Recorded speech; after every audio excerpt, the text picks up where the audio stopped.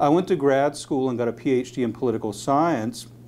And when I finished that, I got a job uh, teaching at Duke, which was very enjoyable but I wasn't able to convert that into a permanent position. And at that point, I didn't really know what to do with myself, so because I couldn't figure out anything else to do, I decided to enroll in law school. My second summer, I worked in a big law firm and I really hated it. So it became clear to me that I didn't want to go back to that firm after graduation and practice that I didn't really want to practice for a big law firm. I looked for some other legal jobs. I came up empty. I couldn't find anything. So I didn't know what I was going to wind up doing for a living. Here I was, you know, 34 years old uh, with a lot of education, but not a clear career trajectory.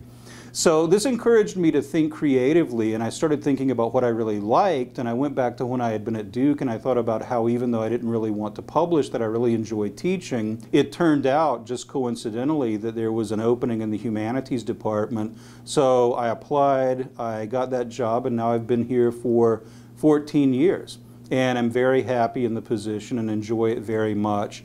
So it was really through a series of failures that felt like failures at the time and that felt very discouraging that I wound up ultimately redirecting my energies in a way that I had not thought about earlier and I wound up in a position that feels very natural for me and that I really enjoy.